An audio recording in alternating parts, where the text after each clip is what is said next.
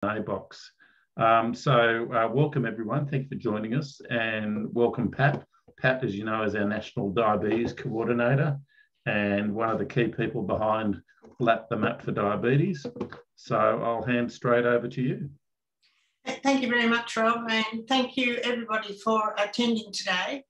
I'm sure a lot of you have done uh, Lap the Map or have participated in Lap the Map, but if you haven't, this is a this is a great opportunity to learn a bit more about what, what it's all about and why we do it. So the, the idea for Lap the Map is to encourage people to exercise and of course have, have a healthy and a, a healthy diet. So what we ask people to do is to culminate this on November the 14th, which is World Diabetes Day. Now, World Diabetes Day this year is on a Monday, so maybe you could culminate it on the, uh, the weekend prior to that. So what you can do is have kids in uh, families pushing their, their, their kids around. They, everybody can ride, a, uh, people can ride a bike, people can walk.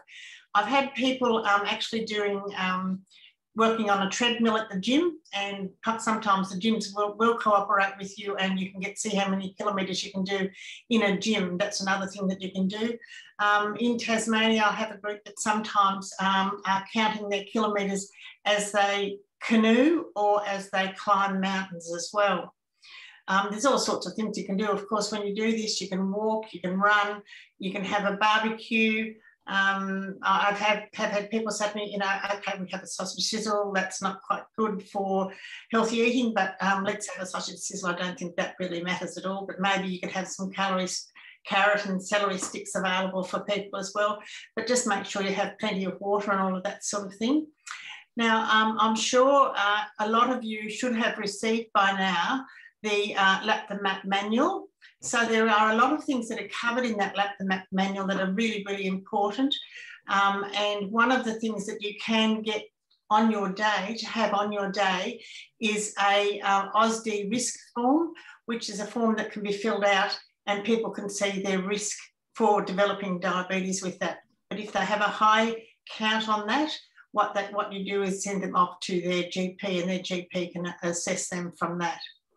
Um, then we've also got all sorts of, um, thank you, Rob. Then we've got all sorts of um, contacts that you can have for, for all of those, for the people in each, each particular state that you can get in, get in contact with. So if you keep scrolling for me, for me for a bit, Rob, please. Uh, keep going. Uh, I want to get down to about page four. So the, the operational guidelines is what we got. And there's, there's all the contacts there that are all there for everybody and they are up-to-date contacts for everybody. So if you'd like to contact those diabetes centres in your particular state, that's what you need to do. And then what we've got there is um, some displays, what you can do, maybe what you can do when you have your day. Um, keep going, please, Rob um, yeah, promote and promote and promote.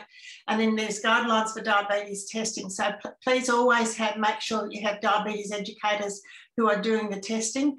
And please be aware, which I sure, I'm sure you all are, that, that, that Lions are here for diabetes awareness. We're not here to edu educate, but we're here to help people. But we do that in consultation with diabetes educators and uh, endocrinologists and people who can help us. And maybe sometimes GPs are more than happy to come out and help you with this sort of thing as well.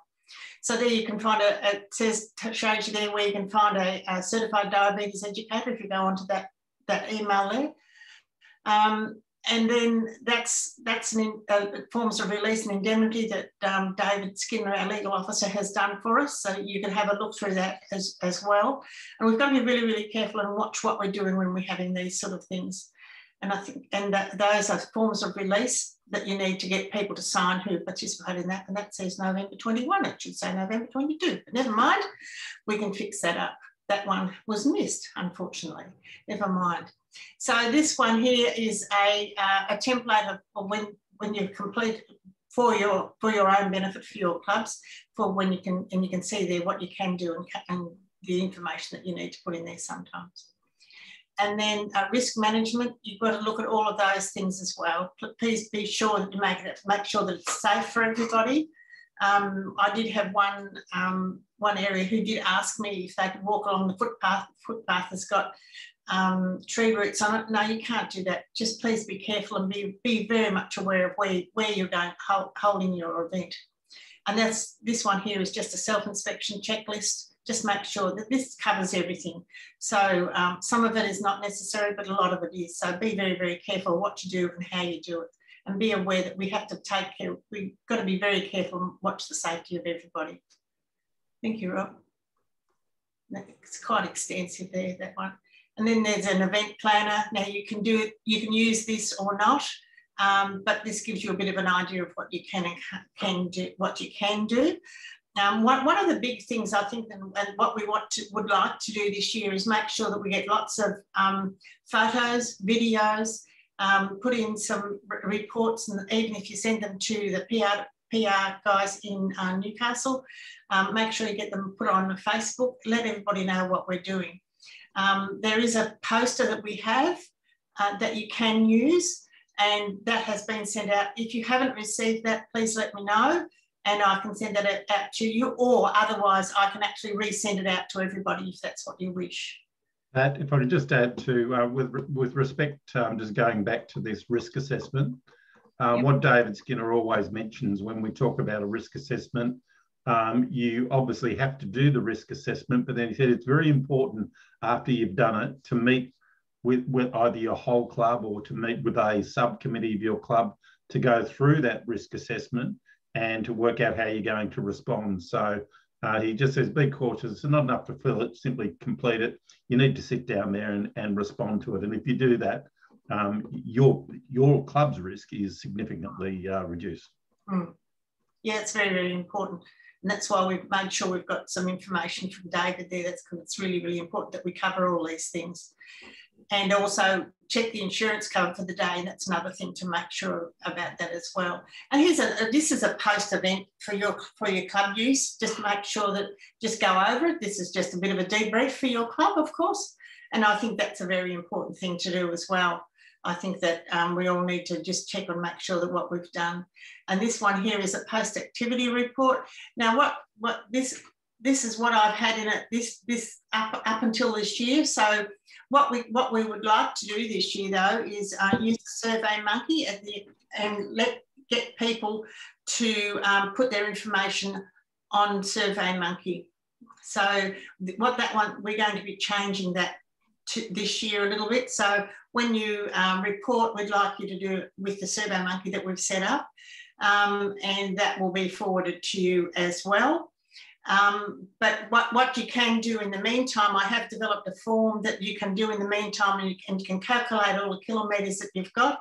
And that's a new form that I've done up and I will be sending that out to everybody so that you can keep an eye on how many kilometres you've been doing. So that's what we can do. Pat, would you just like me to take people through the survey? Um, yes, please. Time? Look, yes. um, just, just in terms of um, the distance recording, what's really important for us is to be able to promote um, the success of Lap the Map to the community. Yeah, uh, Ross has asked for a link to the manual, um, Pat, and we'll, we can send it out to everyone afterwards. Yeah. The um, yeah, so we've been very keen to promote Lap the Map. We think it's a really good story, uh, particularly because it's uh, it's health focused and because it's national, and because Lions have been very very active in it. The real challenge for us is to get timely information though. Um, and in past years, Lap the Map, it's taken weeks and weeks after the event to get that magic number of how many kilometres were walked. Now, by that time, um, it's no longer a newsworthy story because the news wants to know the week, well, they really want to know the weekend that most people are doing it. I'm, am aware that people do it at different times as well, but the, the actual weekend of that, the Map, they'd like to know what the target is, and they would like to know whether we've achieved that target. And as soon as we can get that information uh, as closest to the event as possible, the more likely uh, success we have. Now, our PR team has actually had lots of offers to promote it, but we haven't been able to give them that number. So what we would like people to do is to use an online survey for this. Um, and I'll share the screen, but bear in mind, this is a PDF of the online survey. We don't want people filling in surveys longhand. Uh, we want people to uh, click on the link and complete a simple survey as soon as they have done uh, their walk for lap the map for diabetes. and that, that'll help us to report on it really, really quickly. And it also makes it simple for you. So the link will appear in the information. Just quickly, when you go in there, this will be the first field. Um, put the date of your walk in, or if you did multiple walks, put the last date in um, there. And bear in mind that if you don't put a date in, you can't go through to the subsequent screens. So you'll get a nag saying you need to fill this in. What was the distance walked in kilometres? And you can either use the slider here to slide it along to wherever it needs to be, or just type the number in the end there. Now, we have limited it to 10,000, um, and I'm assuming that no group would have walked more than 10,000 kilometres, but um, if they do, they have to let us know because we have to open up that field. Uh, the, the, suburb of town for your walk, this is for reporting afterwards. Did you raise funds? Uh, it's not obligatory to raise funds. Some groups do, and then they'd like to report it. If you say yes, you come to another screen. If you say no, you move on. So if you said yes to raise funds, uh, you'll be asked to put in how much you raised in, in, in terms of a number, um, and then move on to the next question, which is uh, are you a Lions Club member? Your district, if you know it. Your state, if you know it, hopefully. Your club name and the names of the person entering the data. Uh, that just helps us if there's a something odd about the data, we can ring them up and say uh, what went wrong there. Now, I think I've been asked whether or not we can actually put in um, report against club names, and I'll have to have a look at that tomorrow. I don't have access to the software uh, today. Um, so it's a pretty simple survey, should take less than a minute to complete.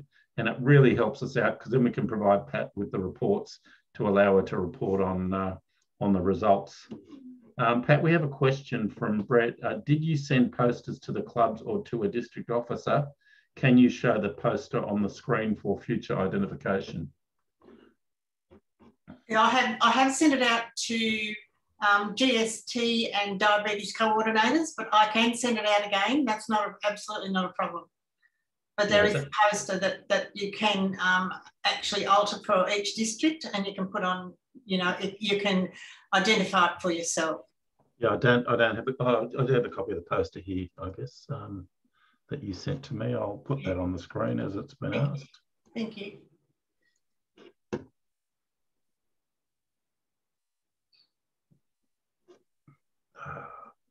So, so there, there's that's the poster. It's yes, and it can be changed. You can put your own details down. There's an area on the bottom there where there's plenty of information there where you can we can put put your own information in there.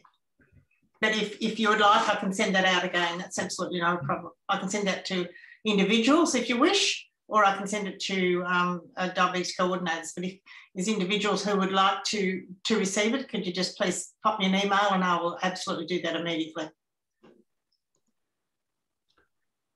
A couple of other questions, Pat, while we're, while we're here. Um, Lorraine asks, we have a consortium of four clubs in South Canberra. How do we suitably report that? We need all clubs to be represented as a tally of kilometres um, uh, and any funds raised. So I think what Lorraine is asking is if you're walking with four clubs, which is the club name that goes into it? Um, well, that, well, that's something I think that, that I have we, we, I'd like to have a look at maybe. Um, I think at one stage some people were doing it by zones. Some areas do it by zones, but if you want to do it by individual clubs, I think that that's something that we can look into maybe and mm. um, have a look at that, Rob, and have a look at that. And I, I, think what Lorraine's comment is, if I if I have it right, is that um, if you if you have four clubs walk, walking together, mm. um, and and they with a joint set of kilometres, do you put which club name do you put in yeah. there? Yeah. And then how do the other clubs get advice of those kilometres? So. Yeah, that's right. And, and that's and that's one of the things that you know when I've done it previously, I've had my own um, database and I've had up to 80 or 90 um, club names. It'd be great to be able to have the club names of those who have participated. But on the Survey Monkey, what we're looking for is actually the kilometres and, and all mm. of that sort of thing. But if people, if club, if you would like to send me individual um, listings, I'm more than happy to take them on board because I think it's really, really important to know exactly how many clubs are participating. And of course, we really want to know how many people are participating as well, because I think that that's really, really important as well. Well, I, I could, if it solves some of the problem, we Yeah. could amend the survey to say, um, to report the, um, the club and, and say what, which other clubs participated as well. Yeah. And Yeah. give them the opportunity to list. Just no, it'd be great if we could have num- numbers of participants because I think that's it lets everybody know, and I think that's one of the things that I gathered uh, up previous years. I've always gathered the numbers of participants, and it really Right, is numbers of, numbers wonderful. of walkers. Mm. yes, it is really is wonderful to see the increase of people who are walking. You know, particularly out of COVID now. Hopefully, we'll be getting more more people walking. All right. Look, let- let's let's do some refining of that survey tomorrow. We can look at the um, report on numbers of uh, individuals walking, and maybe to be able to list more than one club as a participant, so that you'll have a record of of all of the clubs. So That'd be good. That'd be good. Yeah.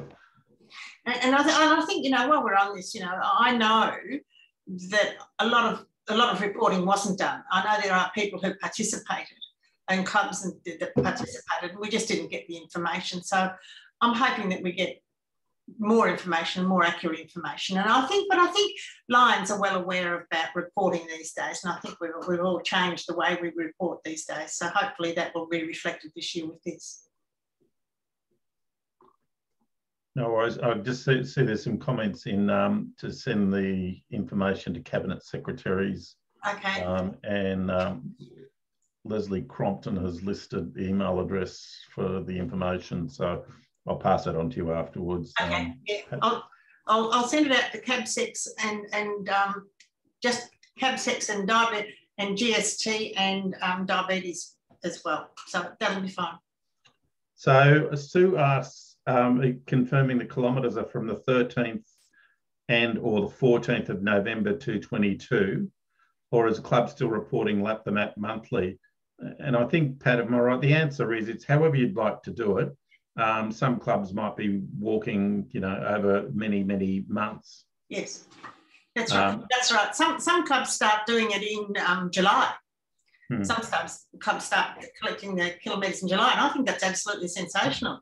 Um, and it's really up to you as to what you do and how, how often you do it. And um, but just please report it. I think that that's that's the the thing that we want. We want people to understand that you know let's get out there and walk. And I think really a lot of the times we we all do a lot of walking anyway. Um, but sometimes we forget to say, oh heavens, I could put that in into the lap the map kilometres. You know, it, so I'm sure that there are a lot of people who walk that just forget to um, say maybe add that in as well. I wonder if we can set up um, in My Lion a signature activity for Lap the Map that um, every club can um, report on as part of their activity reporting. I, I know you can set up a club uh, signature um, activity. I'm wondering if you can do it more generally. Again, that's something else to look at. That Uh, Danny, mentioned, That Danny mentioned last year he arranged a virtual walk. Is it okay to do this year? Ab- Absolutely, and that's what Box Hill will be doing again this year as well. My club will be doing that again this year. The virtual walks, I think, are absolutely sensational, and if, if we can just, it, as as the virtual walks are happening, um, I think if we can just keep up with them, you know, at, at our local Box Hill club, we actually walked from Melbourne through to, I think we worked it out to the Gulf of Carpentaria.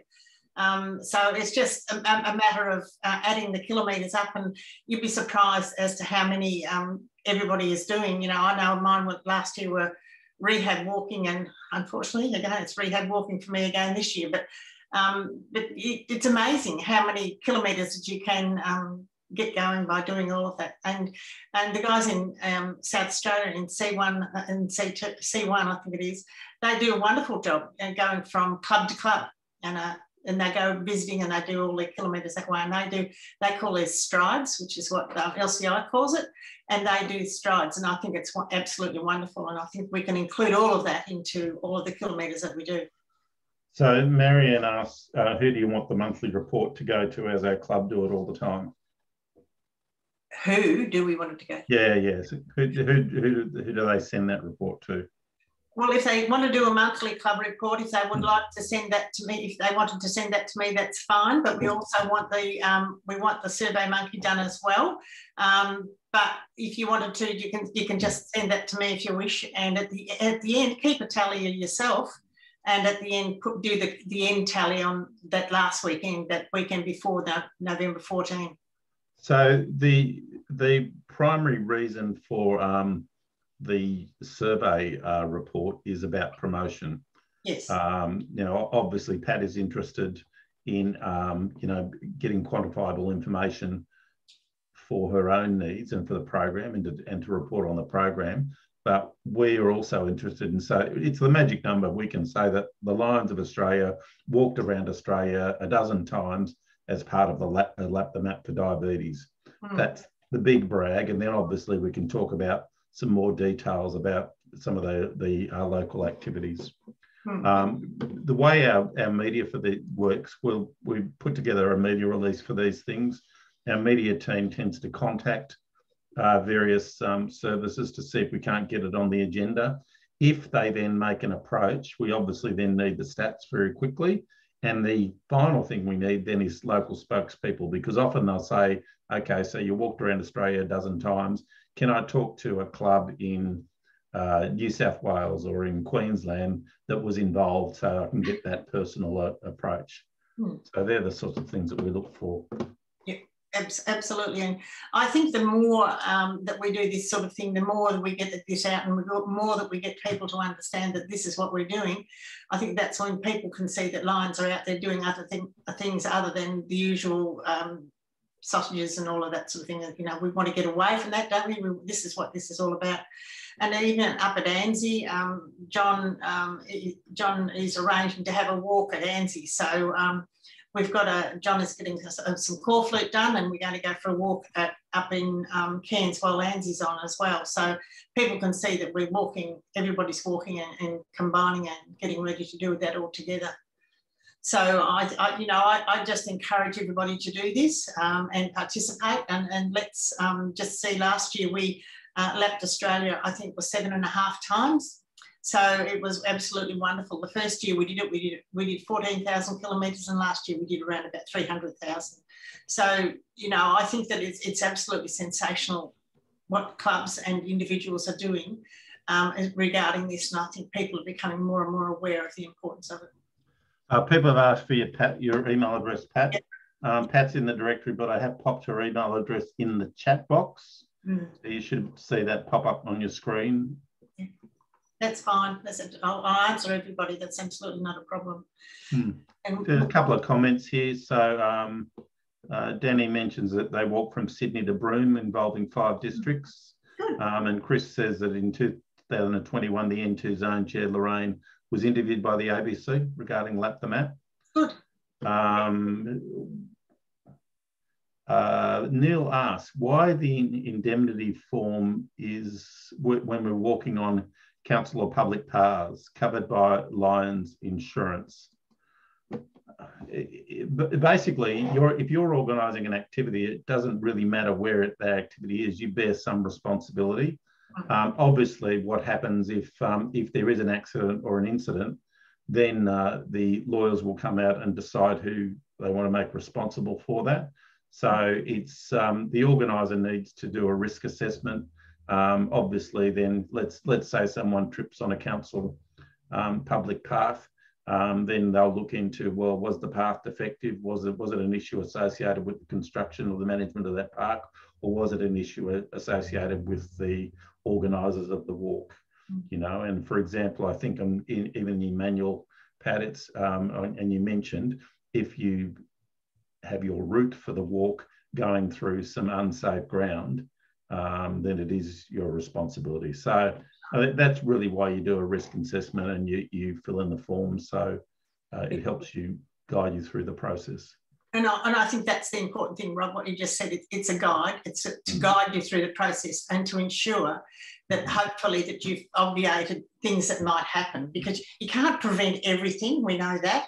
Um, but if you can put things in place to ensure that hopefully ensure that these things won't happen. But just be, be, aware that, you know, if you've got a long route, you know, make sure you have people dotted along the route too to make sure that people are all okay. And I think that you, you don't have to have 100 people, but you can have maybe people running from one path to the other. I don't know, but you know, I think we, I think we we are all aware of about safety, and I think that's a really really important thing to be aware of. Yeah. Yep.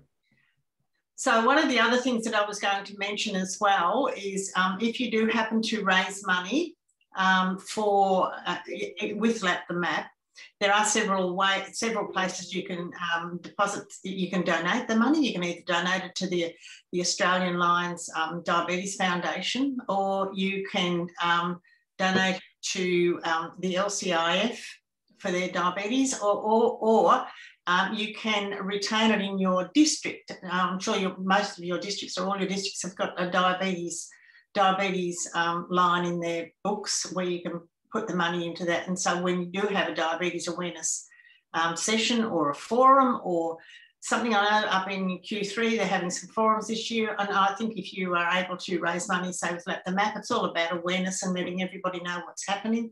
And of course, the other thing is um, if, if your district are having camps, maybe you can um, use some of that money for your district um, type one um, camps that we'll be having in, most, in several districts next year. We're having one in Queensland, one in, um, we've got one in Victoria coming up quite soon. You've got another one in Western Australia. And there's a couple of other districts that are interested in having um, diabetes camps soon. So that's something that if you, depends on where you would like to place that money if you do raise money. But, um, you know, I just thank, thank you all for um, listening. And um, if, if, there's any more questions, Robert, or any more questions there that we haven't answered? Uh, I think I've picked them picked them all up. Uh, okay. Just having a quick yes. No, I think I think we're good. Yep. So if if if there are questions, um, if, if Rob has put up my email, I'm more than happy to answer any emails. Um, and now that I'm getting back into gear, I, I, I'm in having rehab for a second knee reconstruction, second knee replacement, not reconstruction, replacement. So I'm getting back into gear again now. So um, thank you very much for attending today. Um, and it's been wonderful to actually talk to everybody. And thank you so much for all of the questions as well. I think that's, I'm really, really pleased that everybody's asking and loads and loads of questions. And I think it's absolutely wonderful. But if you need any help or any assistance, please do not hesitate to contact me. Thanks very much, Pat. Um, thanks very much, everyone. Uh, I will tomorrow put the recording of this on the YouTube channel, the Lions Australia YouTube channel under Club Resources playlist. Um, but I'll circulate that to Pat if anyone would like to uh, have a look at this afterwards. Yes, if you circulate that to me, Rob, I can send it out, and um, because I'm sure there are, I know there are some people who would like to send it out to some club members who couldn't come. I know this is a three o'clock. We've done this in the afternoon, um, and people who are working can't come. So um, this is wonderful. It's been recorded. So thank you. There's more. No is there more questions there, Rob, or are they just? Oh, uh, uh, YouTube channel question mark. The um, Lions Australia YouTube channel um, has got lots of good resources on it. Um, and I don't remember the URL. There was a um, I'll quickly look it up and pop it in the chat box. Uh,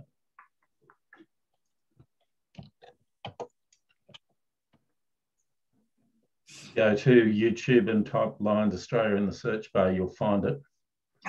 Um, but, and I'll find the exact playlist that it will appear in. Uh, okay. Why should you use Miro? When you draw on a whiteboard, no one sees it. Why do we have ads on that? It's crazy.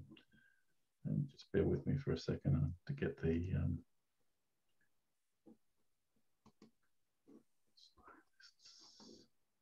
okay, just get the URL copy link address. Just make sure this works.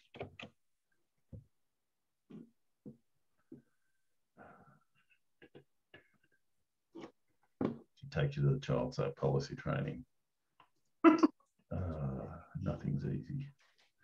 Um, anyway,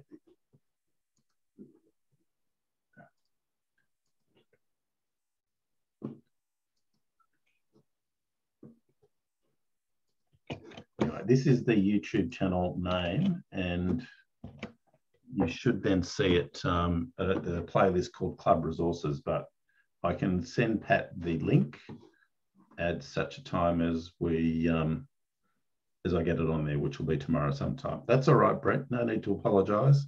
No, Uh, the more people that know about our YouTube channel, the better. Um, you might find some things there that you like.